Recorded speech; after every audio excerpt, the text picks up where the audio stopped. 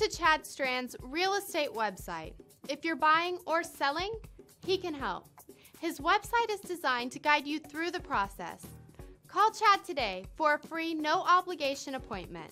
612 849 4600.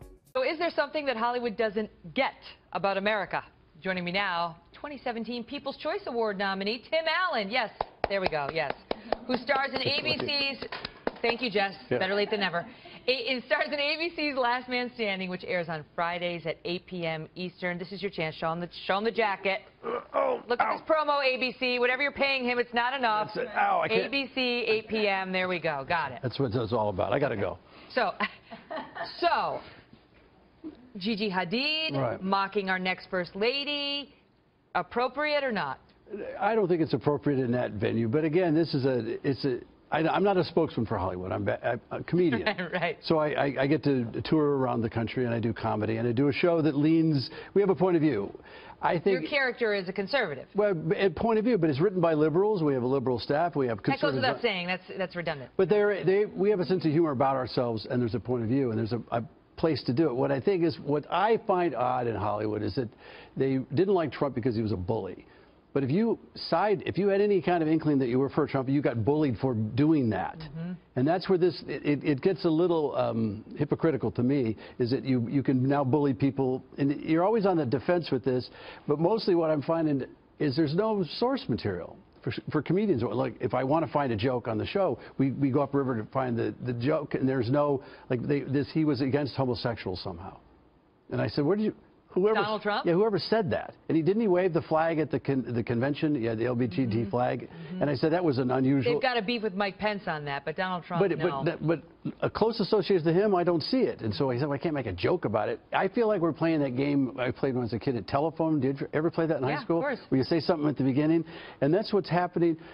It's only funny to me because I'm a comedian. I can do this, but it's very difficult in Hollywood to find anybody, any source material that would well, how are you surviving there as somebody who's, you know, you know, on TV as a conservative? Well, I might not after tonight. himself as open to Donald Trump's ideas because there are a lot of actors, I know many of them, who are part of the Hollywood conservative underground, and they do not reveal that well, they lean right at all. I I'm really an anarchist. That's how, that's how I look at it. As comedians, I don't like anybody telling me what to do, period. I know, but people still object to that. If, if they find out you support Trump at all, it's like you you smell bad, especially in Hollywood. Believe me, I've had these. They're not even discussions. You get bullied into a position. I don't want to defend the guy. I can't. He's, he said stupid stuff. He, to me, sometimes he, he acts like a new talent comedian. If you've ever been to a new talent show at a comedy, there's guys that have great material that have very, very bad comedy timing. And he's got terrible timing. what do you mean? Well, he'll see, he says stuff that could be. George Lopez, and I hate to doubt George, he said a joke about, he was against the wall. Years ago on stage, it was real funny about, we, we build a wall. I, uh, forgive me, George, I, I, but the Mexicans will have to build it. And that was the joke. Donald says it, or uh, expectant president? President-elect Trump. President-elect, expectant president. I guess that would be kind of weird, wouldn't it? If he actually was expectant. That, well, who knows?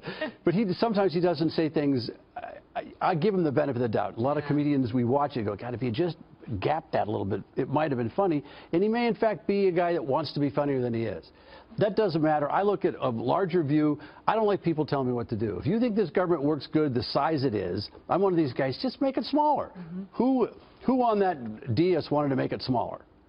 I'm not so sure that he does because he has, a, well, he has a long line of being a Democrat, but at least it was a shot at making things smaller. I, I don't know, physical realist or fiscal realist rather. What about all the infrastructure spending he wants to do, and he doesn't want to cut entitlements other than Obamacare? I know. Then you get these little these little red flags go up. I'm not I'm not sure I'm not sure what what exactly has happened.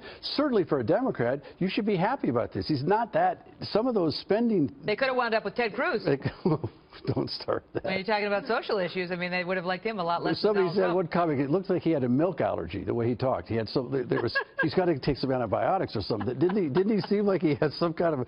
Got me like, do one of these things. It, Poor Ted. All right, I'm going to leave it at that. Tim Allen, and uh, the show is actually very popular. Last Man Standing, up for People's Choice Awards. You've got our vote. Yeah, there we oh, go. Wait, wait, let me give Better you late than never. Can I give you a joke? Yeah, great. Th this is what I said. They're, they're making uh, LA's come up with safe space for people that voted for Trump. They, they're in that area. They want a safe space. They're calling it Texas. Thank you. I like it. Somebody got it. Tim Allen, everybody. Thank you, sir.